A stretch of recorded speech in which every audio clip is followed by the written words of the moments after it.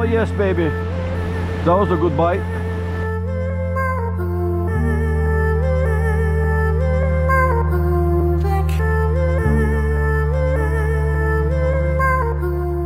Good morning, ladies and gentlemen. Those of you who don't know me, this is Khan Or, your YouTube fisherman. Back here, beautiful Florida morning. We're gonna surf fish.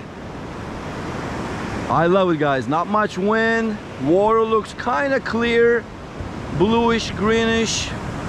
I like it to be a little bit more blue, but hey, we'll take it. Right now is low tide, 9 a.m. Around 10, it's gonna be incoming tide. So I'm looking forward to that. I started late. I don't like fishing the low tide. I like to fish the incoming and high tide and outgoing tide. That's the best time for surf fishing in my opinion. So let's see. Target species as always, nice keeper pompano, golden nugget. We'll take a whiting, redfish. I mean, if anything else is running, sometimes we catch black drum and sheepshead here. So let's see what happens. But everybody's been talking about this so i'm gonna go ahead and tell you guys my personal opinion at the end of the video today's battle is gonna be between fish gum and fish bites. Let's see who the winner is. Everybody has their own opinion on likes. Some like fish gum some like fish bites. And i'm gonna tell you at the end of the video what is my favorite bait to use fish gum or fish bite. And we're gonna compare them. I'm gonna have two rods out one with the shrimp i have live shrimp as well. As you can see right there i'm gonna cut the head off tail off. Nice little piece of shrimp. And we're gonna attach the fish gum to one rod and fish bite to one rod. And we're gonna do the same size equally. We're gonna cast them out the same distance. And that way same weight and everything same setup we're gonna use our pompano rigs circle hook pyramid weight pompano rig. So everything's gonna be the same exact time exact way exact rig and we're gonna see which one gets the most bite. And you guys get to decide end of the video. And uh, let me know what is your favorite also on the comment below. Fish bite or fish gum? What is your uh, bait of choice? Or you don't use any of them at all. So comment below let me know. But without further ado let's see who's the winner. And guys just from the get-go as i'm cutting the baits into little squares you notice that fish gums are more meaty thicker. It almost like a natural bait. Like it almost feels like a nice steak piece of steak and the fish bites are just plastic. Thinner harder. So i don't know you guys decide but so far i do like the fish gums how they stay a little thicker. Like i like that better. It's more enticing to me for the fish. But we'll see. Once it gets in the water and dissolves i know the fish bites hold longer stay longer by that but then they have the inside mesh between the bait and that stays there and it's very hard to get off the hook. So I don't like that I don't like that mash in the middle. Fish gum it's not like that. It dissolves easily gets off the hook easily too. I mean you can hook it easier and take it out and put another shrimp and put it back again. Fish bite you cannot do that. It gets stuck on there. So it's a plus or minus. You take it however you think but that's what happens but so far that's the difference I see before I start baiting it. So we're gonna go ahead and use our fish gum. We already put our shrimp cut the head off cut the tail off circle hook just from the middle right there. Same thing for the top one. Shrimp fish gum. So we're gonna send it like that another rod for the fish bite. All right the fish bite rod got hit. They took the shrimp but fish bites are still there intact. Not even a bite on them no bite on them they got a little mushy but still very hard. And they get sticky. It's very hard to take it off the hook but I guess it's a good thing. But if you want to put a shrimp back on and put the fish bite on back back on that's a hard thing to do so that's a negative for me. I want to be able to take it out put a shrimp on or sand flea whatever and then tip it off with the fish bite. Fish gums are much easier. You could actually play take it out and put it right back in from another spot so it still stays strong and doesn't come off but you could take it off if you want. These gonna be very hard to take it off for Just fish reeled in the fish gum one. I want to change the pyramid weight to the uh, Sputnik as well. Same story shrimp are gone and fish gum still there. So and that's how the fish gum stays. Little looser but it looks thicker more natural bait. And still stays there unless you actually take it out so I like that. Like right now I could just take it off easily. Let me show you. So I could take it off like that. And then from the other side I could see it's harder too. So it's still hard. It's not gonna come off the hook. And I could still put the shrimp on and then the fish gum on fish bite you cannot do that. It gets slimy sticky and very hard you cannot take it off. You have to cut it off. Or just push it back and put the shrimp and hook it from the bottom again.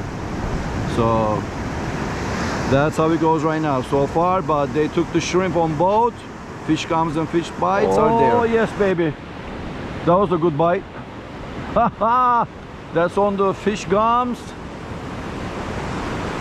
70 yards out. I'm sending both rods the same distance it doesn't seem too heavy. It pulls a little but not pulling a drag so. Small size. Come on come on pompano. Maybe 8 incher 9 incher pompano. Whiting but it's a fish. First fish is on. Oh little mutton little mutton all right see that spot right there? People do eat that. If you get them nice and big it's too small baby. We're gonna toss them out. Fish gum has been eaten. So one for the fish gum ladies and gentlemen. From the top hook the bottom's still there. So let's go. Fish gum one fish bite zero. I use the string to secure the shrimp on the hook. I tie it a couple times. It's very thin so it's not gonna affect your baiting. It's not gonna be visible. It's very very thin and almost invisible. So I just kind of wrap it. It's very elastic too see? It expands so you kind of grab it pull it and then loop it around. That's gonna stay on that hook your bait much longer. So those little bait fish don't steal your bait and you have to be bringing in your rod casting out every five minutes. So that saves you extra five ten minutes. And you have a better chance of hooking up fish. So that's it right here. I'm gonna put it on the link below for you guys. You can check it out. It really helps on surf fishing so let's go. So far fish gums one fish bites zero. Let's see who's the winner. Alright. one whiting on fish bites. So fish bites on the board. I mean it's kind of bitten. Uh yeah we'll give one for the fish bite. That one is bitten as well so yes they definitely bit it. So fish bites one fish gums one. Nice small whiting. Let's go. So this is how the fish bite end up looking. Mesh showing up. Eventually it's just gonna be a mesh no bait whatsoever on it. So I'm gonna go ahead and cut that. It dissolves. And the only way to get rid of it is you gotta cut that mesh to put a new one. So let's do that cut that one as well there we go so very slimy I mean, I could have still used it one more time, but I like to keep it nice and fresh so it's more visible for the fish as well. So let's rebait and cast it out. wow, fish gum. Fish, I mean, fish bite. Now is the fish bite time. Another whiting on a fish bite. Okay, a little bigger, but we're gonna let him go. So fish bite is on the board as well, guys. So it was 1-1, now it's 2-1 for the fish bite. But the fish bite's still there. That's the thing. And they're eating the fish gums like crazy. Nice whiting on a fish bite. Fish bite 2, fish gum 1. Oh, bite on the fish bites. Bite on the fish bites. Yes, I think that's whiting. Oh. Let's see. Let's see, ladies and gentlemen. Fish bites. Very small, whatever it is. It was a nibble, nibble, nibble bite. Around 60 yards. Still incoming tide. This is the fish bite. Yeah, very small another I mean it's okay it's okay size but still small whiting so whiting loves the fish bite that's what it seems like they're actually getting it I mean shrimp too of course but so that's fish bites three fish gum one and it's all whiting for the fish bite. So you want to catch a whiting? Definitely use fish bites. One more observation on the fish bites. See the mash? The fish bites dissolves too quick and leaves you with this mash same thing at the bottom I just put those actually like we did a two cast three cast only. And this how it goes. You end up with a mash fish gum you do not. Fish gums as well came right back the way they were 10 minutes but one big difference guys fish gums still intact.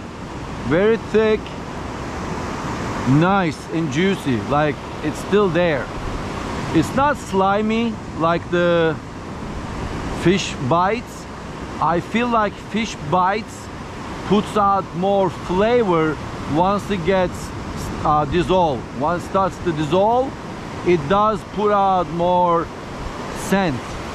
That's what it seems like because it's kind of dry.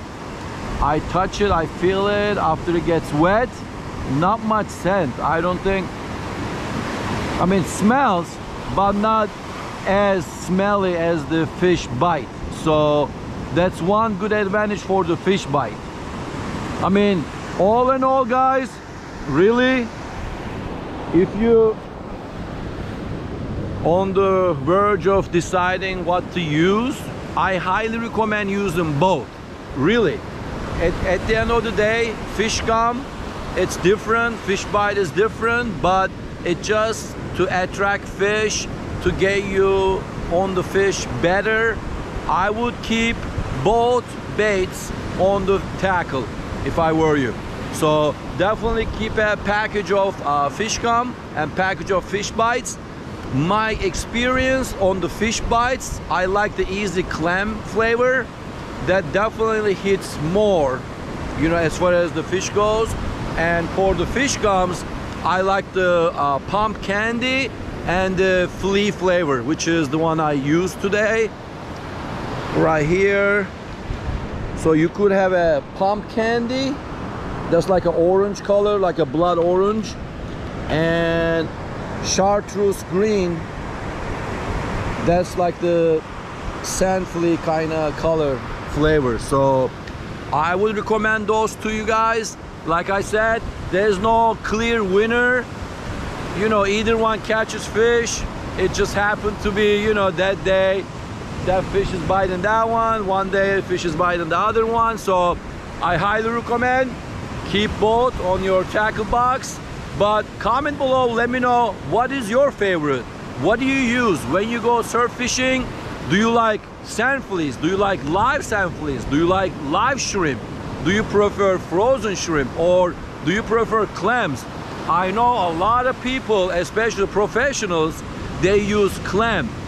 They use the nice salted cure clams, very small pieces, and then they attach the fish gum or fish bite at the end, also little pieces. So like I said, everybody's different. Let me know what is your preference to catch uh, surf fishing, pompano, whiting, jacks, whatever bites out there. But that's it for today. It was a beautiful day. Slow, I mean, just bunch of whiting, small, mid-size, no pompano. But again, I like to fish the high tide, not the low tide. And high tide is coming in, but I gotta go. I have a game, district finals for the high schools. I got a referee. Still gotta drive all the way to Orlando. So that's it for today. I appreciate you guys tuning in, watching it.